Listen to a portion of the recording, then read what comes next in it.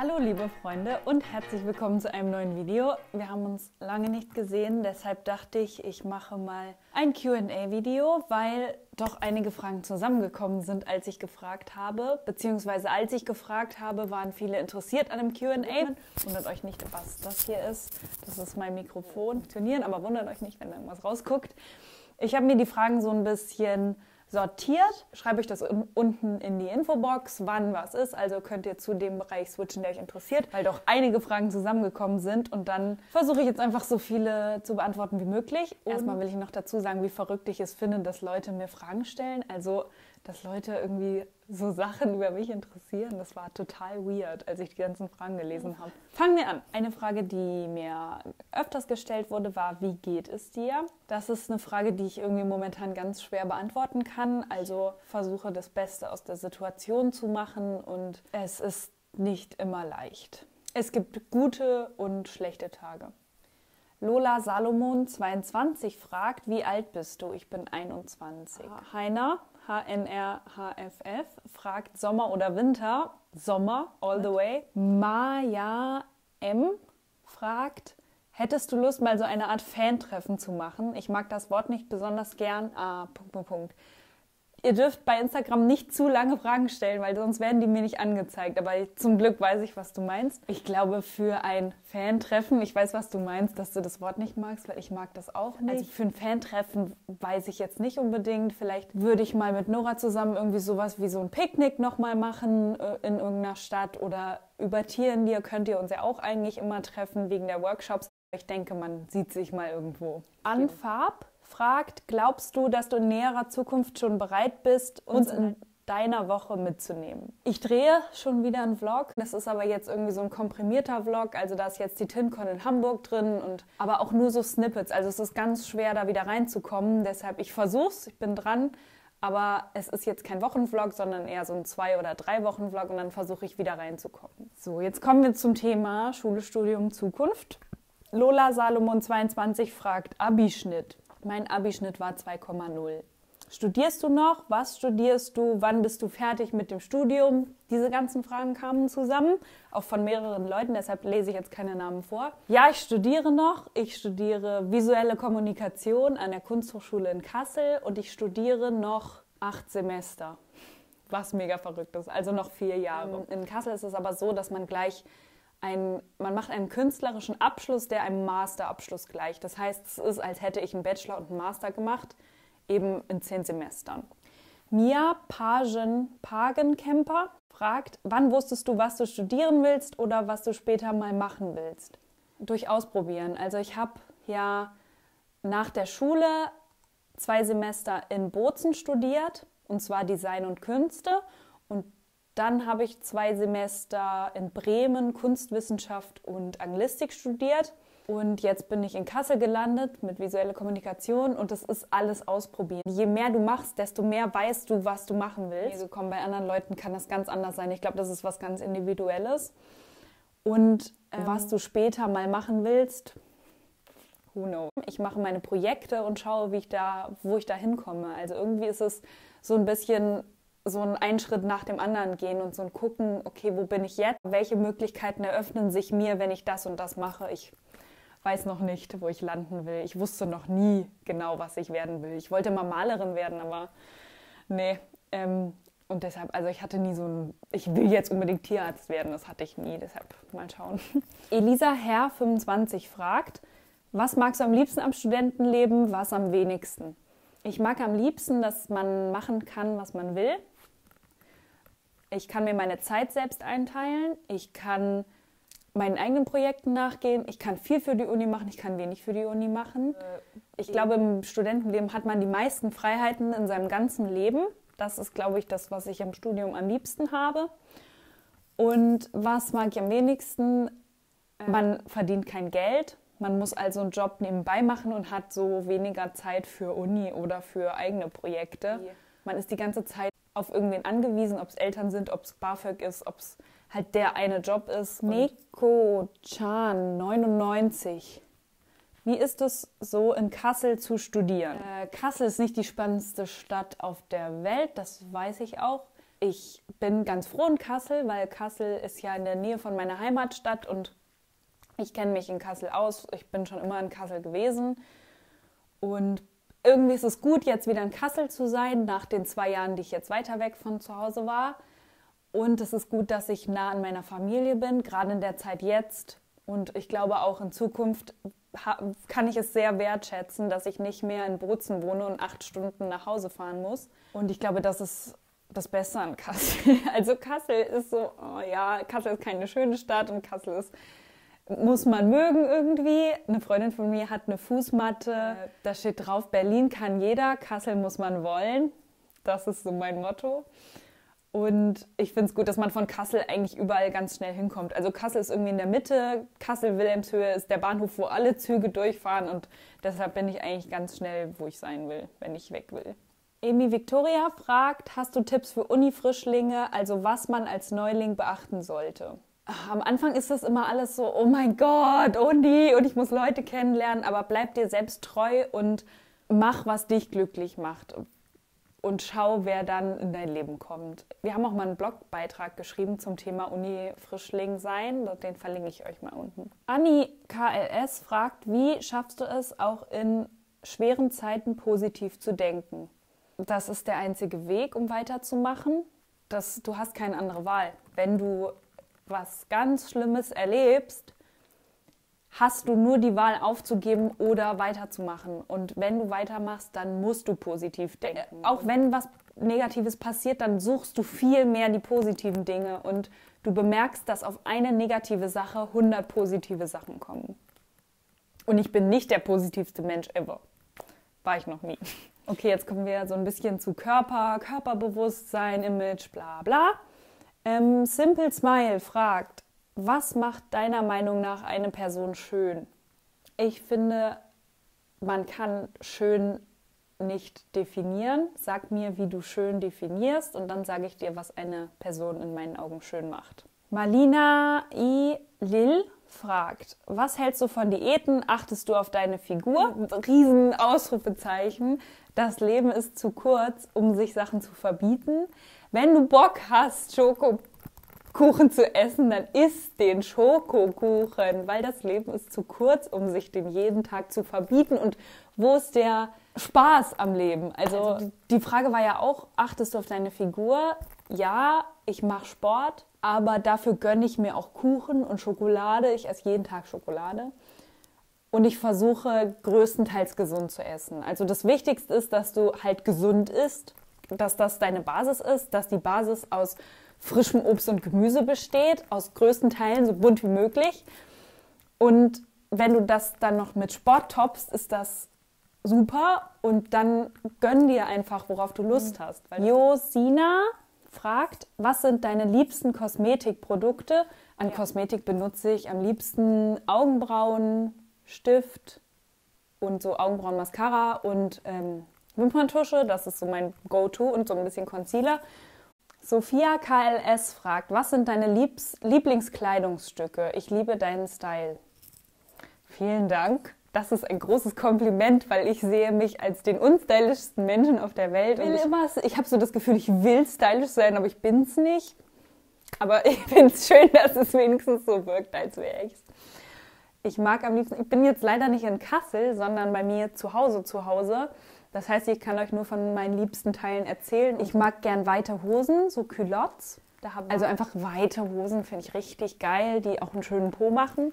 Ich mag meine Gaga Glitzerjacke, die ich gemacht habe für das letzte Konzert. Die ziehe ich auch super gern einfach so an. Meine Vagabond-Schuhe, also die ziehe ich auch nicht so oft an, wie ich die anziehen möchte, aber immer wenn ich sie anhab, dann fühle ich mich so richtig gut da drin. Und das ist für mich irgendwie, was ein Lieblingskleidungsstück ausmacht, dass du das anziehst und du bist so bam.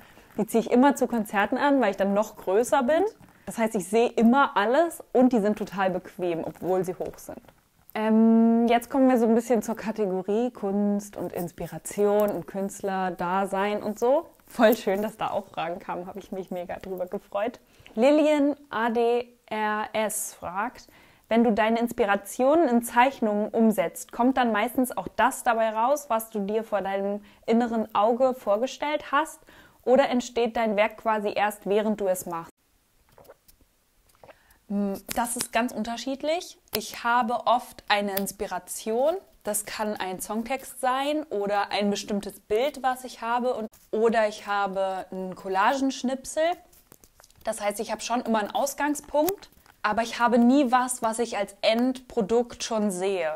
Also das ist nie der Fall. Ich arbeite nie auf irgendwas hin, also ich sage nie, ich will jetzt genau das machen, das muss da sein, das muss da sein, sondern ich lasse mich total von dem Prozess leiten. Aber ich habe nie ein Endprodukt im Kopf. Das ist höchstens mal, wenn ich irgendwie eine Auftragsarbeit mache oder irgendwas für Tieren dir und mir gesagt ist, du, wir machen was zu dem Thema, dann habe ich manchmal schon so ein Bild im Kopf, ah, man könnte ja das und das machen. Aber meistens ist es nicht so. Michi Emmerich fragt, Hast du eine Lösung für kreative Blockaden, beziehungsweise hast du auch welche? Oh mein Gott, so ähm, oft. Lösung ist tatsächlich für mich einfach mal vom Handy weg, von allen Einflüssen weg, die dauernd auf dich wirken und so ein bisschen zurückkehren und dir irgendwie überlegen, was will ich eigentlich machen? Also, und wo könnte ich hin damit? Natürlich kann man sich Inspiration holen. Also ich finde es auch gut, irgendwie in die Bib zu gehen und sich einfach mal Sachen anzuschauen und was gibt so alles. Und wenn man in eine bestimmte Richtung will, dann kann man sich natürlich anschauen, was andere gemacht haben. Aber man darf sich nicht so verlieren in diesem endlosen, das Internet ist endlos und es gibt so viel schon.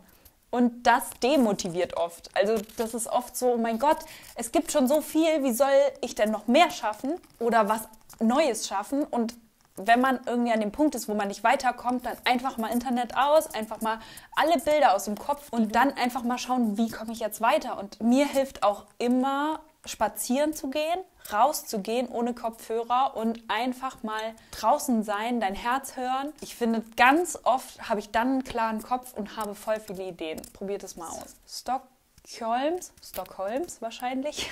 Bist du mit deiner Kunst zufrieden und wenn ja, wie lernt man das für sich selbst? Ich bin selten zufrieden, weil ich ein unfassbarer Perfektionist bin. Denke, das kommt mit der Zeit. Auch durch Wertschätzung von anderen. Also ich habe das Gefühl, dass was schlimm ist, dass ich meine Sachen besser finde, wenn jemand anders gesagt hat, dass die gut sind ich denke, das Wichtigste ist, um das für sich selbst zu lernen, ist einfach jeden Schritt, den du machst, wertschätzen zu lernen. Also du sagst, hey, ich habe das gemacht und es war total viel Arbeit und ich habe voll viel reingesteckt und ich bin stolz auf mich. Oder wenn ich nicht die Wertschätzung bekomme, die ich mir gewünscht hätte.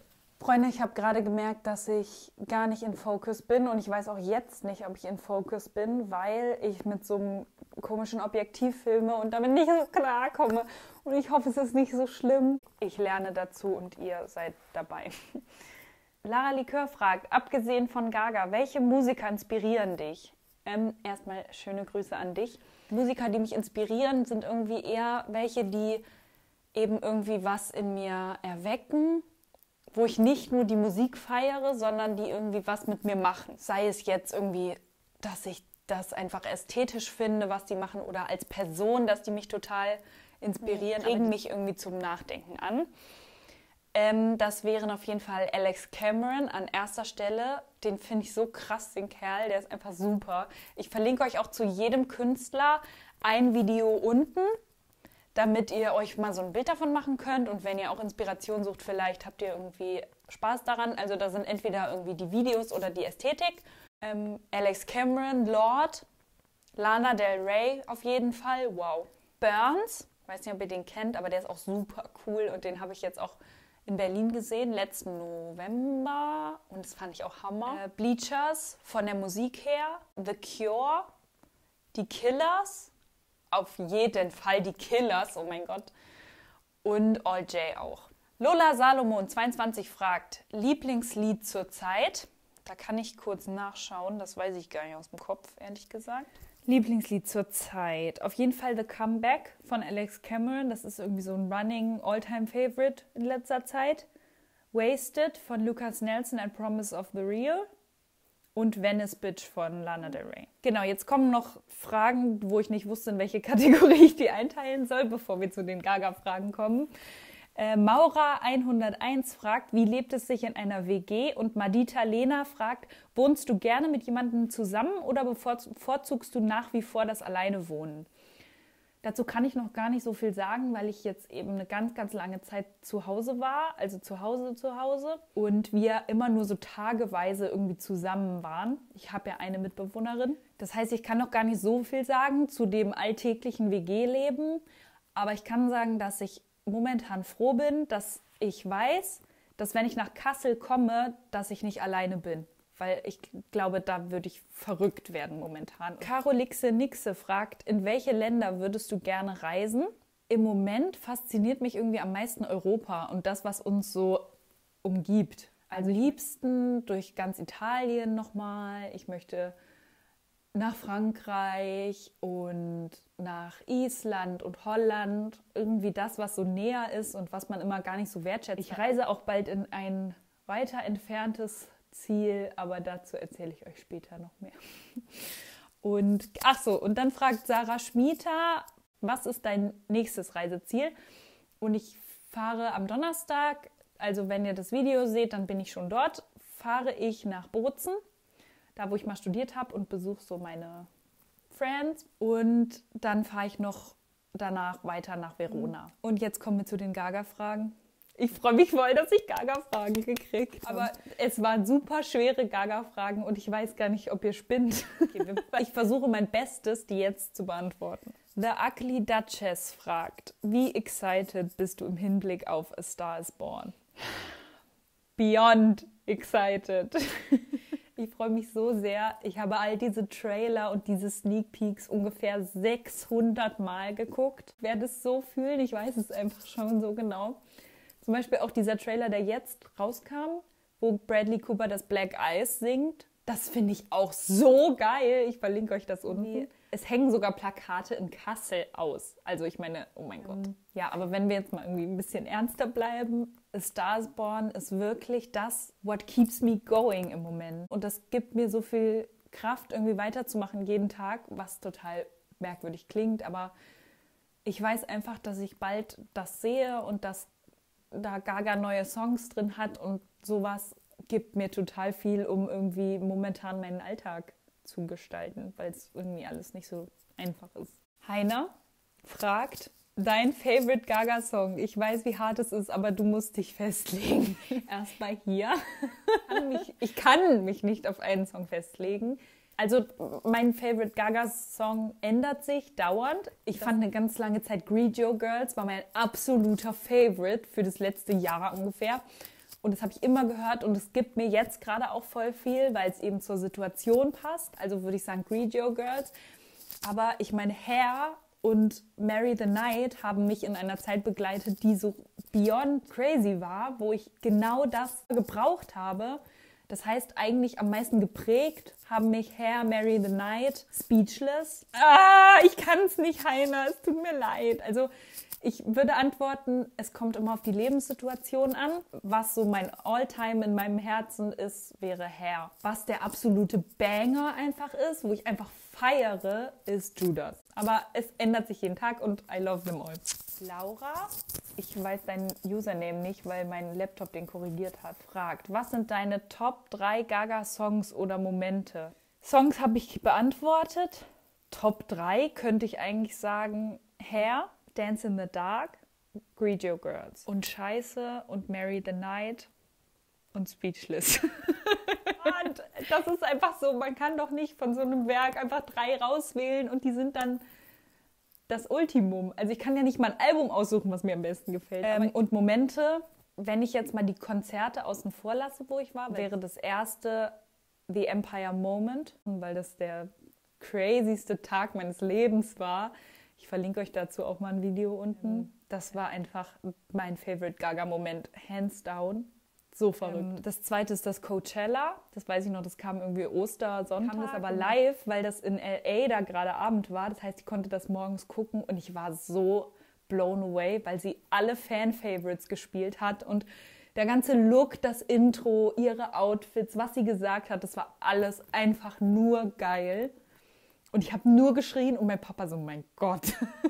Drei würde ich sagen Super Bowl. Wie ich nachts auf der Couch saß um vier und das geschaut habe. Und ich habe einfach danach noch eine Stunde geweint, weil es einfach crazy war. Joanne Ray fragt, Top 3 Gaga-Quotes, die dich am meisten inspirieren. Die kann ich jetzt nicht so alle aus dem Stegreif sagen. Die blende ich euch jetzt ein.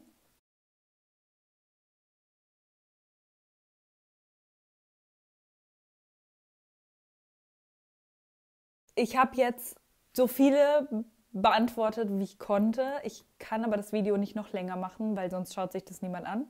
Danke euch für die Fragen. Ich hätte mega Lust, sowas nochmal zu machen. Und ansonsten sehen wir uns ganz bald wieder. Und ich wünsche euch eine wunderschöne Zeit und genießt jeden Moment. Und wir sehen uns.